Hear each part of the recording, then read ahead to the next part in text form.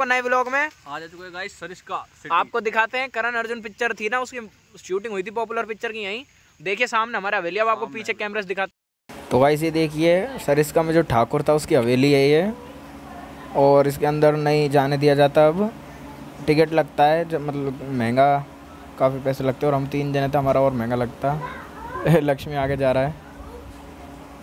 पर ये अंदर नहीं जाएगा क्योंकि अंदर जाना मना है।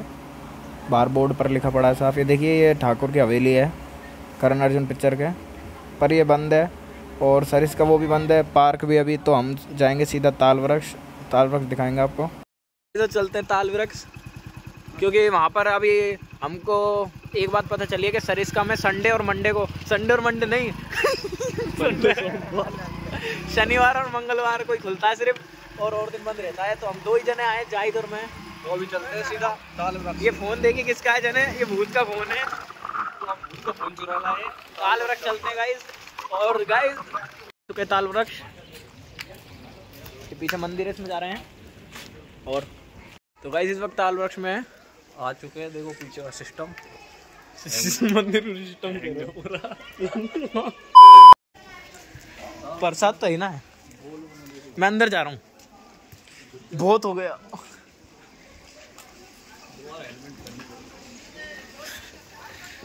काफ़ी सुंदर मंदिर है। कौन का मंदिर भैया? गंगा मैया का मंदिर है इसे। चल जाओ अंदर, कोई दिक्कत नहीं है।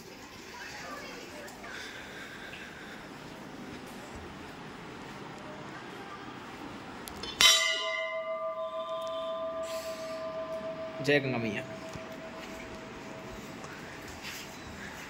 तो गाइज़ टोपा ये कम्बल चुराने की सोच रहे हैं कि हम कम्बल चुरा पाएँगे।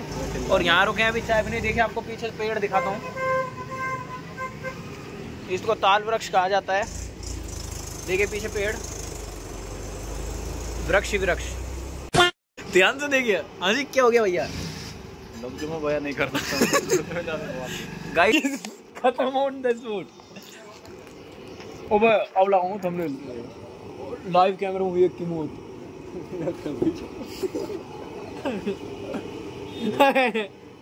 क्या हुआ भैया? भैया?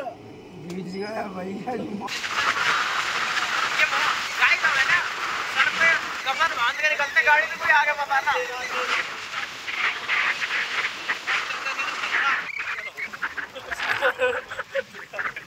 मिलेंगे सीधा मतलब जाए तो वीडियो बनानी की वाड़ी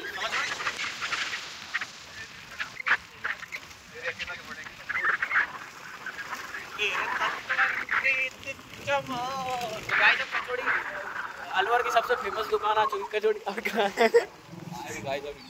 गाइस अलवर की सबसे फ़ेमस दुकान आ चुकी कचौड़ी की। या को मिले। अच्छा चलो भाई देखें। देखना। यहाँ पे रोके कचौड़ी वगैरह खाने और मतलब भूख लग रही है, देखिए। ये देखिए लक्ष्मी जी। ये सबसे फ़ेमस दुकान है।